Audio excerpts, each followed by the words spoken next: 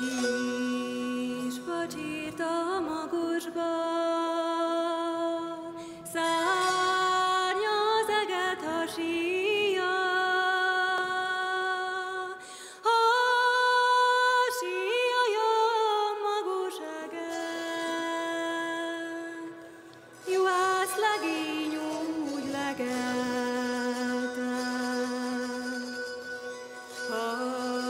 Másik is húrja fújja, juhász legény a pusztába. De a paraszt a szobába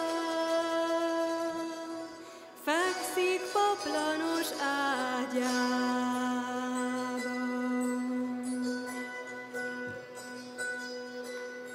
Mit ír az a paplanos